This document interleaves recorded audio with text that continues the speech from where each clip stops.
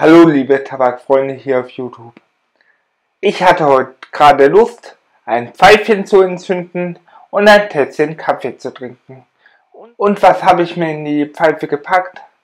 Gerd Jansens Pfeifendepot TM Nummer 37. Vielen vielleicht auch bekannt unter My Own Blend Curly Nummer 44.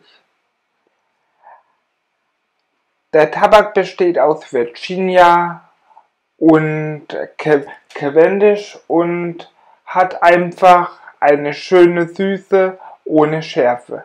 Es ist einfach herrlich, denn dieser Tabak nimmt perfekt Feuer an und entwickelt an dem Gaumen einen wunderschönen Rauch.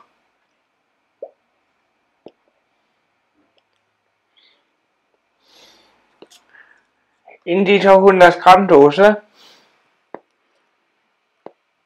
sind jetzt noch gefühlt 50 Gramm, denn diesen Tabak kann man zu jeder Tages- und Nachtzeit rauchen.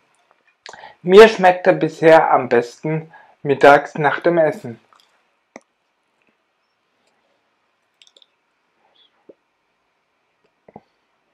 So als kleiner Nachtisch ohne großes Aroma, einfach nur schöner Tabak, der einfach Spaß macht. Weil das Tabaksbild mit den Curly Einsprengseln ist einfach nur herrlich. Aber schaut euch das Tabaksbild doch einfach mal selbst an.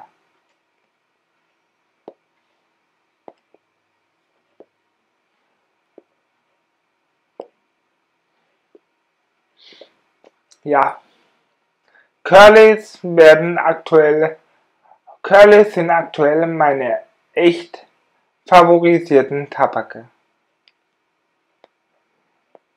Ist dieses Tabaksbild nicht einfach herrlich?